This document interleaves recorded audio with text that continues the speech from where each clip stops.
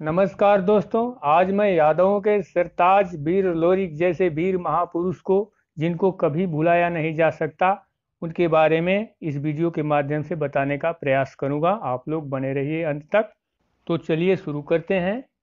दोस्तों, वीर लोरिक, उनका जन्म बलिया जनपद के गौरा गाँव में एक यादव परिवार में हुआ था, जो बहुत ही बहादुर और बलशाली थे। उनकी तलवार पचासी मन की थी। उनके बड़े भाई का नाम सवरू था। वीर लोरिक में हज़ारों आदमियों का बल था। वीर लोरिक के ख्याति का गुणगान यादव लोग लोरिकी के माध्यम से करते थे और आज भी करते हैं, जो वर्तमान समय में देखने को और सुनने को मिलता है। जिसमें अगोरी के राजा मोलागत के अधीन मेहर नाम का अहीर रहता था और इसी मेहर की अंतिम सातवीं लड़की मजरी थी, जो बहुत ही सुंदर थी और इस लड़की पर राजा मोलागत की बुरी नज़र पड़ी थी और वह राजा इस लड़की को महल में बलपूर्वक दबाव बनाकर ले आना चाहता था। इसी दौरान मजरी के पिता मेहर को लोरिक के बारे में जानकारी हुई और मेहर ने अपनी लड़की मजरी की शादी लोरिक से तय कर दी, लेकिन लोरिक को पता था कि बिना मुलागत को पराजित किए मजरी से शादी नहीं कर पाएँगे। अतः लोरिक युद्ध की तैयारी के साथ बलिया से बारात लेकर सोनभद्र के सोन नदी पर पहुँच गए। उस दौरान राजा मुलागत बहुत उपाय किया कि बारात सोन नदी को पार न कर पाए, किंतु बारात नदी पार करके अगोरी किले तक जा पहुँची। तदोपरांत भीषण युद्ध हुआ। उसमें इतनी खून की धारा बही कि अगोरी से निकलने वाले नाले खून से भर गए, जिसकी वजह से आज भी उस नाले का नाम है रुधिरा नाला, जो वहाँ पर आज भी प्रसिद्ध है। और इस युद्ध में इतनी गर्दनें कटी थी कि गर्दनों का एक टीला बन गया था।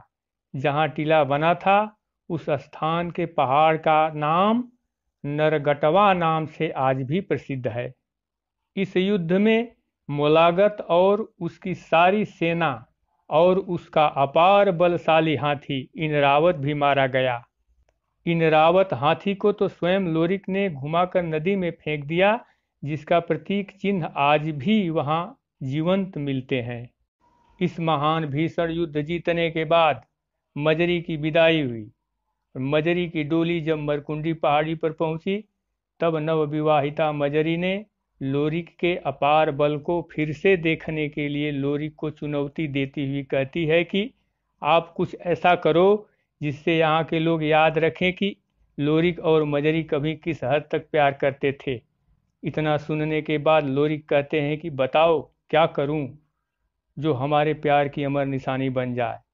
मजरी लोरिक के तरफ़ चेहरा करते हुए मुस्कुराती हुई एक पत्थर को दिखाती है, विशाल पत्थर को। और कहती है कि आप इस विशाल शिला को एक ही बार में दो खंड कर दीजिए। वीर लोरिक ने तलवार से उस विशाल शिलाखंड को वैसा ही कर दिया। तब मजरी ने शिलाखंड पर अपने मांग का सिंदूर लगाया, जो कुछ अवसरों पर यह सिंदूर आज भी चमकता है। वह शिलाखंड आज भी वहाँ मौजूद है। लोग जाकर उनका दर्शन करते हैं। जो वीर लोरिक और मजरी के प्रेम को दर्शाता है।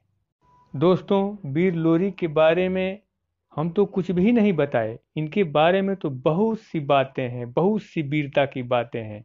जिनको इतने कम समय में बता पाना मुश्किल है। इसके लिए कम से कम दो चार सप्ताह लग सकता है पूरा गुणगान गाने के लिए।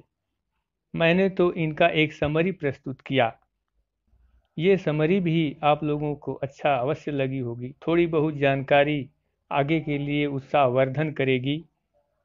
दोस्तों, दुख की बात है कि इस महापुरुष के बारे में इतिहास में कहीं स्थान नहीं दिया गया। थोड़ा बहुत स्थान मिला है तो बस यादवों की वजह से मिला है, वो भी लोरकी के माध्यम से। लेकिन कुछ खुशी भी है। वर्तमान समय में आप Discovery of India Jawaharlal Nehru की। उसमें इस महापुरुष के बारे में वर्णन है। ये हम लोगों के लिए बड़ी खुशी की बात है। अंत में हम यही कहेंगे कि, धन्य हो यदुवंशी वीर वीर लोरी, आपको मेरा सत सत नमन, प्रणाम। जय यदुवंशी, जय भारत, जय माधव।